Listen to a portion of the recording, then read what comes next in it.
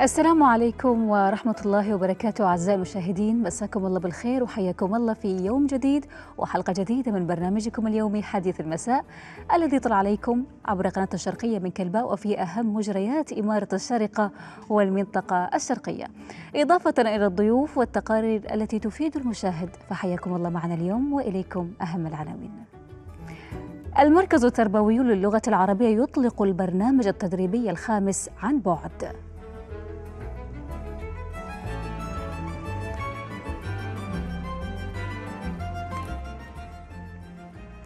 إمارة الشارقة نموذج رائد في دعم مسيرة الابتكارات.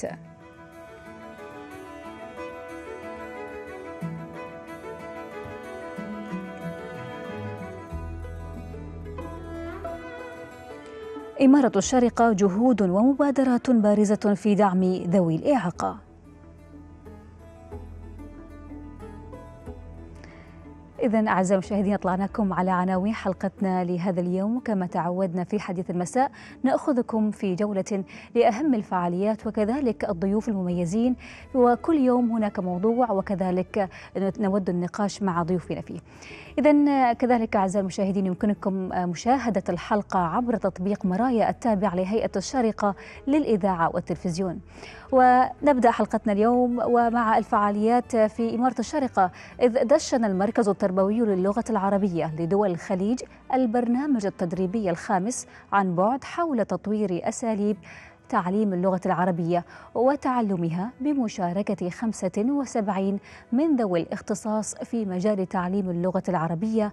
ولمزيد من التفاصيل يسعدنا أن يكون معنا عبر مكالمة هاتفية الدكتور عيسى صالح الحمادي مدير المركز التربوي للغة العربية لدول الخليج بالشارقة مساء الخير. أسعد الله مساءكم بكل خير. حياكم الله. في البداية دكتور مع بداية العام الدراسي الحالي ما البرنامج الذي أطلقه المركز مع بداية العام ويخدم تعليم اللغة العربية طبقا لخطة المركز المعتمدة؟ نعم بداية نشكر برنامج حديث المساء على هذه الاستضافة الكريمة ونمسي بالخير جميع المشاهدين الأعزاء. وبخصوص البرنامج الذي أطلقه المركز تربية اللغة العربية دول الخليج يأتي ضمن برامج خطة المركز لهذه الدورة الحالية حيث يتضمن برنامجا في إعداد حقائب تدريبية لمعلمي اللغة العربية حول تطوير أساليب تعليم اللغة العربية وتعلمها. في الحقيقة هذا البرنامج يعنى بتدريب ذوي الاختصاص في اللغة العربية بالدول الأعضاء من خلال مجموعة من الدورات التدريبية في عدة مجالات هي تساهم في تحقيق هدف المركز وهو تطوير تعليم اللغة العربية وتعلمها في مجالات سياسات واستراتيجيات تدريس اللغة العربية ومن أبرزها أسباب ضعف اللغة العربية وسبل العلاج والمخرجات وكذلك مهارات القرن الحادي والعشرين في تعليم اللغة العربية بالإضافة إلى قيم المواطنة والتنمية المستدامة بالإضافة إلى هذا البرنامج وهو الذي نفذ مع تزامنا مع مطلع هذا العام الجديد وهو صعوبات تعليم الكتابة في الصفوف الأولى المظاهر والأسباب وسبل العلاج والذي يهدف إلى رفع مستوى مهارات ذوي الاختصاص من المعلمين يعني جميع هذه الحقائب الهدف منها رفع مستوى مهارات ذوي الاختصاص من المعلمين. كذلك نسعى من خلاله إلى تحسين مستوى تحصيل الطلبة بالدول الأعضاء في تعليم اللغة العربية بالإضافة إلى تعرف المعلم الاستراتيجيات المناسبة التي يجب أن تستخدم في تعليم اللغة العربية وإجراءات هذه الاستراتيجيات وأيضا شروط هذه الاستراتيجيات وكل ما يرتبط بها من من أدوات أخرى لازمة لتحقيق هدف هذه الحقائب إذا دكتور عيسى ما الفئة المستهدفة من برنامج صعوبات تعليم الكتابة في الصفوف الأولى والمظاهر والأسباب والعلاج؟ نعم. في الحقيقة هذه الحقيبة تستهدف ذوي الاختصاص من معلمي اللغة العربية في الدول الأعضاء وكذلك ذوي الاختصاص من الموجهين والمشرفين. يعني باختلاف تسمية هذه الفئة الموجهين والمشرفين في بعض الدول. وبالإضافة إلى معدي المناهج لأن نحن دائما نحرص على أن نتوصل إلى معدي مناهج اللغة العربية في الدول من خلال وزارات التربية والتعليم وتواصلنا المباشر معهم ويتم إرسال هذه الحقائب أيضا والإصدارات الخاصة والتي تساهم حتى تكون مرجعا في إعداد وتطوير مناهج اللغة العربية وفي تعريفهم على المهارات المهارات والمفاهيم الجديدة كالتنمية المستدامة والمواطنة والذكاء الاصطناعي وكذلك مهارات القرن الحادي والعشرين لأن هذه مفاهيم جديدة نعم. نحتاج أيضا وليس الاستراتيجيات ولا المعايير في اللغة العربية وإنما حتى المفاهيم الجديدة فهي تستهدف هذه الفئة وفي الحقيقة شارك معنا ما يقارب ما يقارب 75 مشاركا من ذوي الاختصاص في الدول الأعضاء بمكتب التربيه العربي دول الخليج. والجميل في هذه المرة أيضا أنه شارك معنا وطبقا لتوجيهات صاحب السمو حاكم الشارقه يحفظه الله ويرعاه بتقديم الدعم اللازم لخدمة اللغة العربية بالدول الإفريقية. فسموه حريص على يعني تطوير التعليم في هذه الدول لأن ايمانا من سموه بأن الايمان بأن التعليم هو المنطلق الأساس في تطوير اللغة العربية وتحسينها في هذه الدول. حيث شارك معنا من ست تقريبا من ذوي الاختصاص والخبراء وأساتذة الجامعات والموجهين ومعدي المناهج من دولة من جنوب السودان وغينيا والسنغال ونيجيريا ومالي وتشاد تقريبا من ست دول وهي ما تسمى بدول أفريقيا جنوب الصحراء. وتم أيضا عقد لقاءات وملتقيات أيضا معهم عن بعد وشارك معنا مجموعة من معدي المناهج أيضا لديهم. وتم الاطلاع على الإصدارات. أيضا نحن أصدرنا بالمناسبة إصدارات كثيرة منها إصدارات استراتيجيات تدريس اللغة العربية في مهارات القراءة والكتابة والاستماع والتحدث واطلعوا عليها.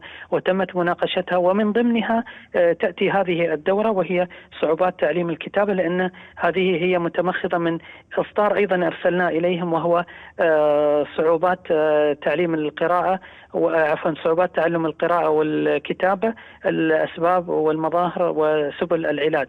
فبعد اطلاعهم تم تحديد هذه الدورة حتى تكون يعني تلبي احتياجاتهم في ضرورة.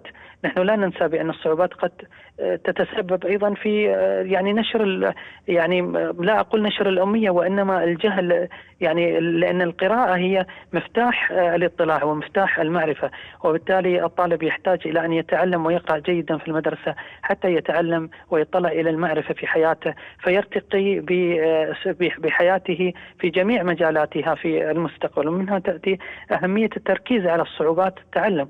صعوبات التعلم يعني كالرياضيه صعوبات تعلم رياضيات ومنها في اللغة العربية صعوبات تعلم القراءة وأيضا الكتابة. نعم. دكتور الحقيقة مع ما ذكرت حول بأن هذا البرنامج كان يخص دول الخليج العربي أما الآن صار توسع وتشعب وانتقلت كذلك برامج إلى الدول الإفريقية. إذا لابد بأن هذا البرنامج يحمل عدة أدوات وكذلك تخص ذوي الاختصاص. على ماذا يهدف دكتور عيسى؟ في الحقيقة يعني هذه الحقيقة الحقيبة يعني هي حقيبة. البرنامج هذا يعني يتمثل في حقيبة تم إعدادها كما ذكرت متمخضة من هذا الإصدار. يعني نحن حقائبنا في المركز في الحقيقة أصيلة متمخضة من الدراسات التي نفذها المركز وهي جديدة فتهدف هذه الحقيبة إلى عدة أهداف. يعني أبرزها الجانب التطبيقي. يعني هذه الحقيبة تقوم بتقديم تطبيقات عملية حول المفاهيم والمظاهر والأسباب والأنواع والتشخيص والعلاج في هذا المجال بالإضافة إلى البرنامج العلاجي الذي ذكرته وهو مخطط بطريقة علمية يتضمن مجموعة كبيرة من تدريبات العلاج للكتابة. يعني المنهج العلمي أو التخطيط العلمي ضروري جدا في يعني تصميم مثل هذه الحقائب في مثل هذه الموضوعات حتى نحقق أهدافها في الواقع لدى هؤلاء الفئة من الطلبة. كذلك إلى بالإضافة إلى الجانب التطبيقي لهذه الحقيبة أيضا هناك هدف آخر هذه الحقيبة تزود ذوي الاختصاص ومعلمي الصفوف الأولى من المرحلة الابتدائية بخلفية نظرية حول الموضوعات، يعني هذا الموضوع وهو مجال صعوبات تعلم الكتابة من حيث المفاهيم والمصطلحات والمظاهر والأنواع والتشخيص. يعني لابد أن التشخيص يبدأ اولا لتحديد هذه الصعوبات ومدى يعني نسبتها ووجودها لدى الطلبه ولدى الشخص وتصنيفها أيضا لدى الطالب، هل صعوبات في القراءة، هل صعوبات في الكتابة؟ لأن الصعوبات في الحقيقة قد تكون في رسم الحروف، في رسم الكلمات، في الحركات العربية القصيرة والطويلة والتنوين والشدة، وصعوبات في التمييز أيضا بين اللام الشمسية واللام القمرية وصعوبات تهجي الكلمات، ولذلك نقول بأنها خططت بطريقة علمية لغويه حتى تساهم في تحقيق أهدافها، بالإضافة إلى صعوبات خاصة بتنظيم الكتابة وجمالها وصعوبات في بناء الكلمات، بناء الجمل، الآن نحن نلاحظ في الحقيقة هناك ضعف إلى حد ما في واقع الكتابة لدى الطلبة، فإذا نحتاج إلى أدوات تشخص صعوبات الكتابة لدى الطلبة خاصة في الصفوف الثلاثة الأولى. يعني الصفوف الثلاثة الأولى هي الركيزه الأساس للطلبة ولضرورة الوقوف وتحديد صعوبات التعلم لديهم في القراءة والكتابة حتى يعني نستدرك هذه الفئة وكما يقال نلحق عليهم يعني في هذه المرحلة المبكرة ونحدد مشكلاتهم. يعني آه، هناك صعوبات موجودة. يعني أنا ربما ذكرت في بعض يعني اللقاءات بأن هناك دراسة في دولة الإمارات نفذت وتوصلت إلى وجود يعني ما يقارب 21% من الطلبة يعانون من صعوبة في قراءة المناهج. طيب كيف سيتعلم هذا الطالب؟ إن لم يقرأ جيدا إن لم يتعلم إن لم نعالج لديه آه، صعوبات القراءة. ومنها تأتي أهمية القراءة مفتاح الاطلاع على العلوم وعلى الفنون وعلى المعرفة. فالموضوع في الحقيقة ضروري جدا يعني مهم نعم. جدا آه، وخاصة في ظل تحديات اللغات الأخرى.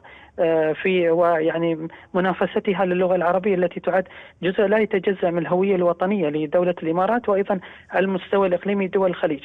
وأيضا آه، استراتيجيات خاصة لعلاج صعوبات الكتابة واستراتيجيات خاصة لصعوبات القراءة وهذا من الجديد في هذه الدراسات. لابد أن نستخدم الاستراتيجيات وعلى ضوئها يتم تدريب الطلبة. نعم. الحقيقة دكتور عيسى مثل هذه الاستراتيجيات وكذلك بأن تنظم العملية التعليمية بالنسبة للغة العربية هي من الأمور المهمة بأن توضع الدراسات بأن آه، آه، تؤخذ هناك إحصائيات على مستوى الطلبة بشكل عام في الوطن العربي أو حتى في دول الخليج العربي لأن هناك قد ذكرت نقطة مهمة بأن ربما المنهج آه، الدراسي لا يأتي ويتساوى مع مستوى هذا الطالب حتى يستطيع قراءة هذا المنهج وتعلم هذا المنهج. لذلك وجود كهذه الحقائب التعليمية ذات الأدوات التي بالفعل تساعد الطالب على أن يتعدى نعم. وأن آه، يذهب إلى مرحلة تعليمية أخرى وفق كل هذه الأدوات وكذلك وفق كل المعطيات التي تجعله بأن يتأهل للمرحلة المقبلة إذا دكتور نعم. عيسى كلمة أخيرة تود إضافتها آه، في الحقيقة يعني آه، القيمة المضافة التي يقدمها يعني مثل هذه البرامج لذوي الاختصاص يعني كما أشرت تفضلت به بهذه القيمة المهمة جدا. آه، كذلك بشكل خاص لمعلم اللغة العربية. يعني كما ذكرنا أن هذه الحقائب هي إضافة للمكتبة العربية التربوية. كذلك الإصدار آه، كذلك اثراء للمكتبة الخليجية في مجال استراتيجيات تدريس اللغة العربية. تتضمن استراتيجيات لتدريس صعوبات القراءة وتدريس صعوبات الكتابة. ومن هنا تأتي قيمة هذه الحقائب وهذه الدراسات الجديدة التي نحن نحاول أن نترجمها إلى واقع عملي من خلال هذا البرنامج التدريبي. كذلك يعني امتدادا لأنشطة مكتب التربية في مجال تطوير استراتيجيات التدريس في المراحل المختلفة ومنها اللغة العربية ومنها مجال صعوبات القراءة والكتابة.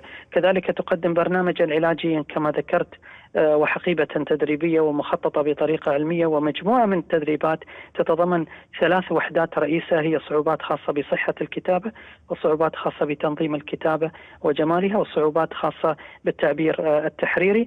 نتمنى آه، يعني نأخذ بالاعتبار بهذه الفئة في المدارس وهم من فئة صعوبات التعلم وهم ضمن فئات التربية الخاصة. يحتاجون إلى الاهتمام وإلى خطة علاجية وإلى أدوات تشخيص وإلى يعني برنامج برنامج علاجي ودورات تدريبية في الحقيقة ونتمنى أن المعنيون آه، أن المعنيين عفوا في هذا المجال آه، أن يراعوا هذه الفئة وأن يكون هناك برنامجا علاجا للمؤسسات. نعم. الدكتور عيسى صالح الحمادي مدير المركز التربوي للغة العربية لدول الخليج بالشارقه شكرا لك.